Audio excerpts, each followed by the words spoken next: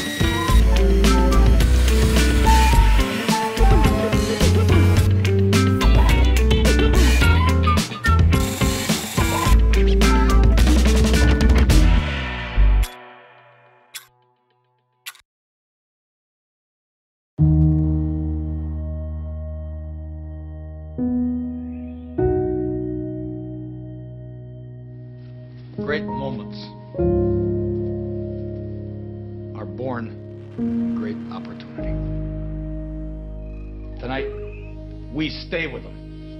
And we shut them down because we can. And you were meant to be here tonight. This is your time.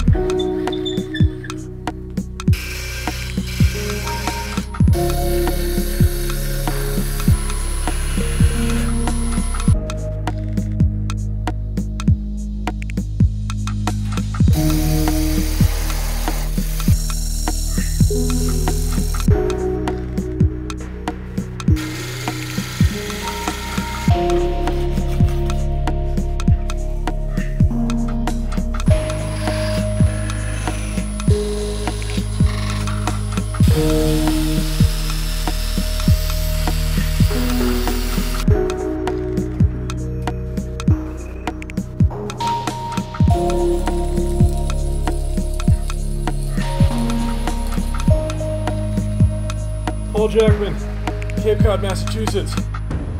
And I play for Rockler Woodworking and Hardware.